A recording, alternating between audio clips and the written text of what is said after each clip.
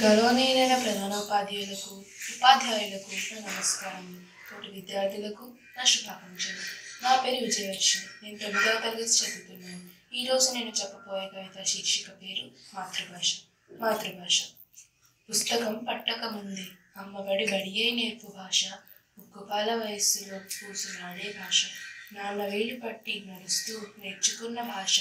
అందమైన చందనం కదలందించిన భాష. కళల్లో వినిపించే కమ్మలైన భాష ప్రతి మనిషి తనలో తాను మాట్లాడుకునే భాష మనసు స్పందనలను వెలిగించే భాష మంచి మమతలను పండించు భాష. భాషలన్నీ నేర్చిన మన భావోద్వేగాల వ్యక్తీకరణకు మాతృభాషకు సాటి వేరే భాష కాదు. మాతృభాషను ప్రేమించు ఇతర భాషలను గౌరవించు. ధన్యవాదాలు. అందరికీ నమస్కారం. నా పేరు కె సంఘమిత్ర నేను తొమ్మిదవ తరగతి ఏ సెక్షన్లో చదువుతున్నాను? ఈరోజు నేను మన అమ్మా నాన్నల గురించి ఒక కవిత్వం చెప్పబోతున్నాను. తొమ్మిది నెలలు చీకటిని ఛేదించి మన జీవితంలో వెలుగు ప్రసాదిస్తుంది అమ్మ. మనకు విద్యా బుద్ధులు నేర్పించి విజ్ఞానాన్ని ప్రసాదిస్తాడు నాన్న. కనులు తెరిచే వరకు కడుపులో పెట్టుకొని కాపాడుతుంది అమ్మ. కాళ్ళ మీద నిలబడే వరకు కనుపాపలా కాపాడుతాడు నాన్న. రక్తాన్ని పాలుగా మార్చి పోషిస్తుంది అమ్మ.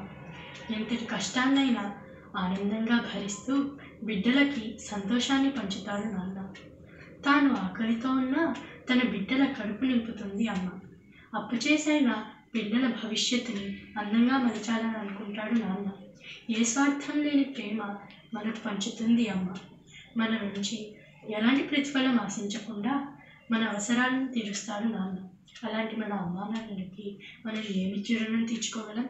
జీవితాంతం వారికి ప్రేమను పంచడం తప్ప? వెలుకట్టలేని వారి ప్రేమకి దాసోహమే కదా లోకమంతా. ధన్యవాదాలు. నమస్కారం. నా పేరు ప్రతికేష్. ఈరోజు నేను అమ్మ గురించి కొన్ని తీయని కవితలు చెప్పడానికి మీ ముందుకు వచ్చాను. ఆకాశం అంత మనసు ఉంది. సముద్రం అంత కరుణ కలిగి ప్రేమను మాత్రమే దోసిలితో ఇచ్చేది ఇంకెవరు? అమ్మ తప్ప. ఎన్నో జన్మల పుణ్యము వలన నీ కడుపున పుట్టాను. ఇంకో జన్మ అంటూ ఉంటే నా తల్లివి నీవే అంటాను. కలలోనైనా నీ దీవెనలు కోరుకుంటాను.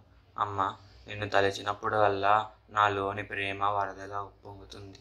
నీ నిద్రను త్యాగించి నా బాల్యంలోని చిన్న గాయాలకు ఔషధంలా నా పక్కనే ఉంటూ నా కం కంటికి రెప్పలా కాపాడిన దేవత నువ్వు. పది మందిలో ఒకరు వంద మందిలో ఒకరు కోట్లలో ఒకరు నన్ను నన్నుగా ప్రేమించింది అక్కయ్య అక్కరు మా అమ్మ.